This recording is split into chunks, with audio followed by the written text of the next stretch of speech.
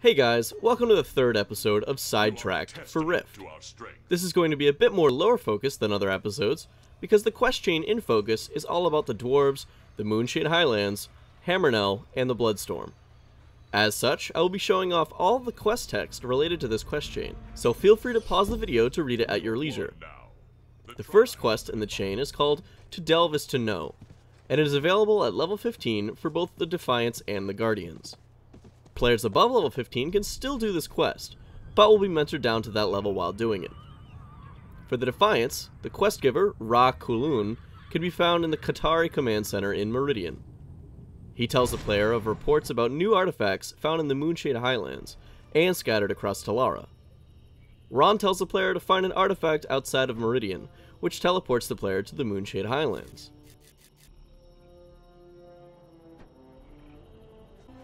There, the player finds another quest giver named Kovoro Zarlith, who asks the player to investigate some artifacts around the Timesworn Cliffs.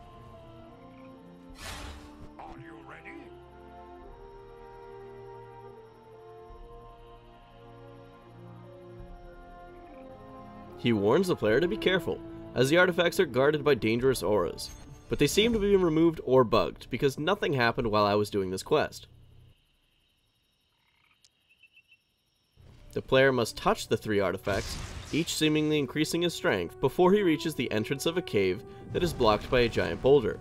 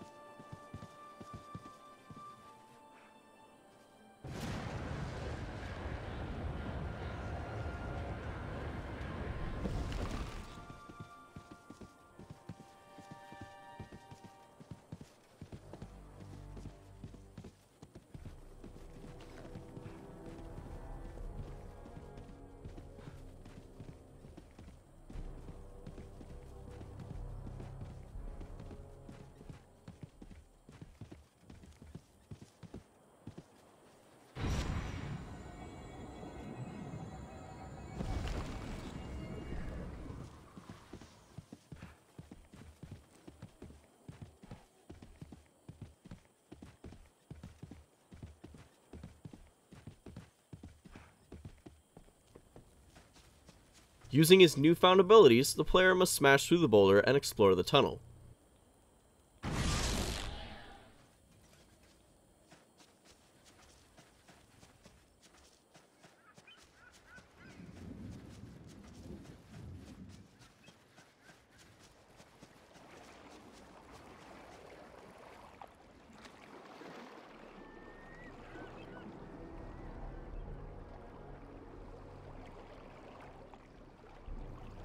Further down the passage, another boulder blocks the player's way, this time guarded by a rock golem.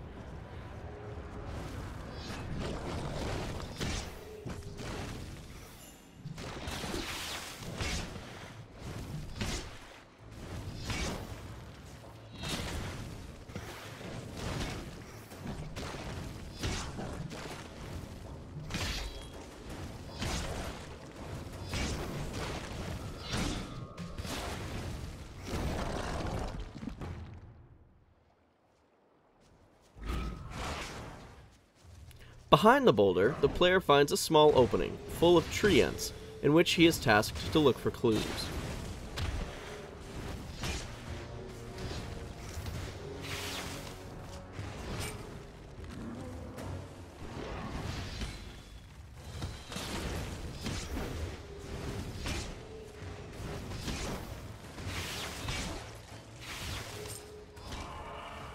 The player finds a bunch of reagents, used for magical experiments, a bedroll, a dwarf skeleton, a stein, and more test equipment.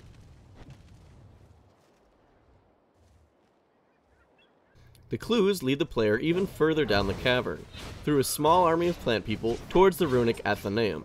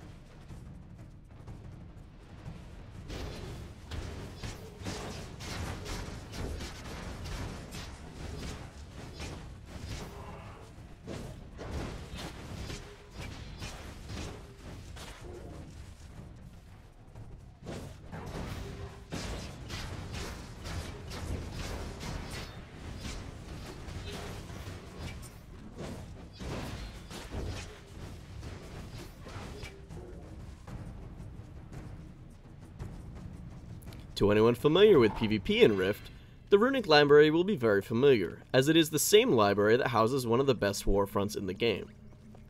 This version of the library, however, includes a portal, allowing players to teleport to it whenever necessary. Within the Runic Library, the player meets an ancient dwarf named Voradrin, who informs the player about another dwarven library in Hammerknell that fell to Akylios' corruption. The two discuss that a great force is altering Telera's history, as books in the library keep changing to reflect other possible outcomes for historical events. In an attempt to fight off the evil forces that plague Telera, Voradrin attempted to resurrect great dwarf army, but failed, realizing that his job is to guard the library instead. He offers a daily quest that involves collecting samples from the para-elemental hybrids that litter the tunnel leading up to the runic Athenaeum. This is worth picking up, as the player will be told to run back through the tunnel once more anyway. To continue the main quest, the player must do some research on the rune masters that guard the library. The tome explaining the rune master's history also talks about the master runes, which each represent an important facet of dwarven philosophy. While a normal dwarf may devote his or herself to one of the main runes, the Rune Masters devote themselves to all of the life lessons that the runes represent strength, loyalty, unity, and majesty, to name a few.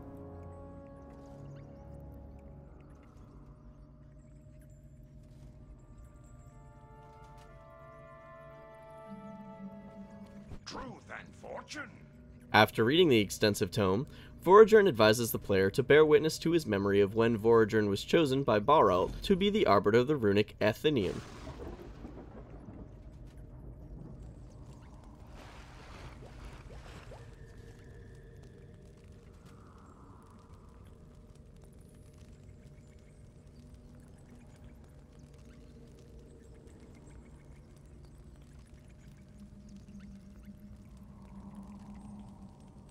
In the memory, Baralt takes the form of a gigantic corgi and sets Voradrin on his path.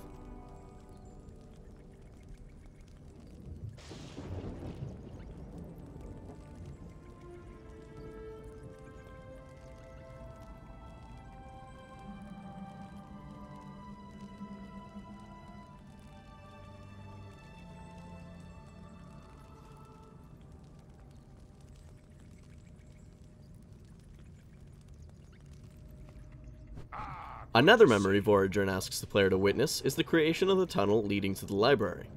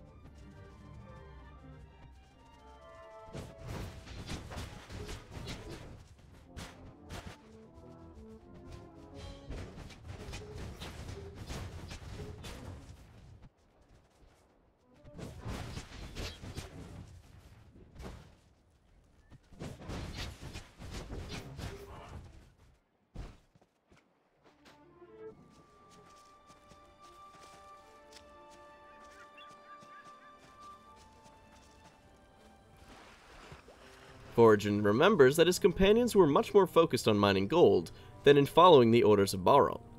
Nevertheless, Voradrin commits them to digging out the side of the mountain.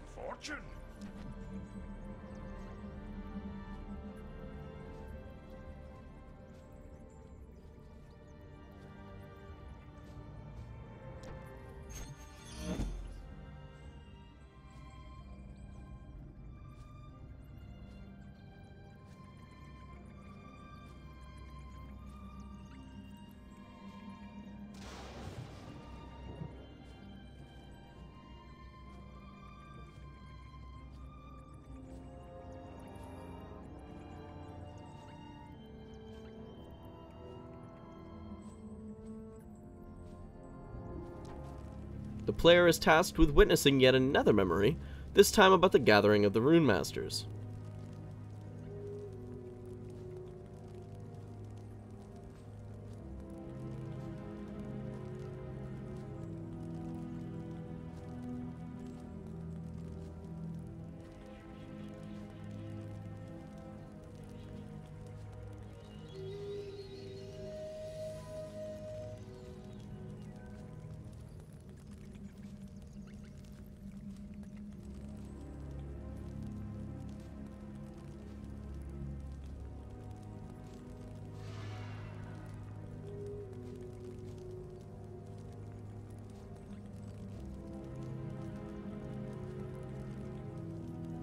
Captain Foreshadowing dictates that the Rune Masters and miners betrayed Voradrin, leaving the player to defend him from his embodied memories.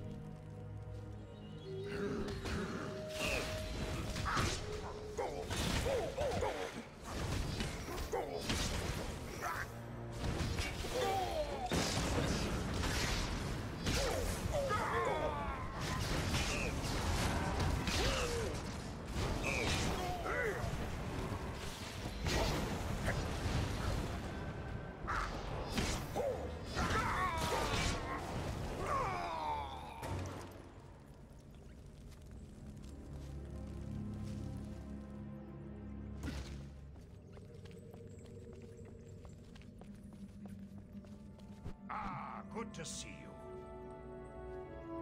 Strangely enough, Voradrin explains that his memory is not actually what happened, and is another example of the past being changed. He tells the player to investigate a series of tomes that explain the bindings of blood, which were the events in which heroes sealed away the Bloodstorm.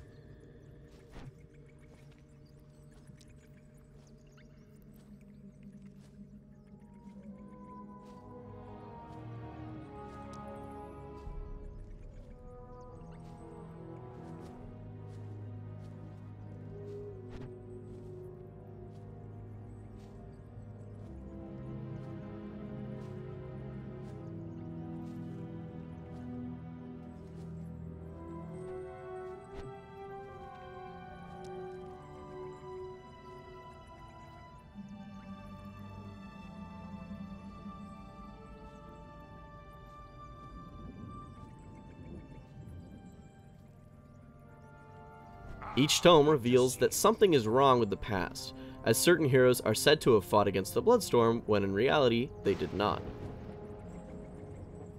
Voradrin explains that the player must go out into the world to discover the sources of these changes, which I will discuss in part 2 of this video. First of all, I want to thank you guys for watching. If you enjoyed the video, feel free to give us a like, or leave us a comment in the comment section below. If you'd like to see more episodes of Sidetracked, feel free to shoot me a message on Twitter or Facebook at Pandamanana and let me know. Other than that, we'll see you guys next time for part 2 of this video.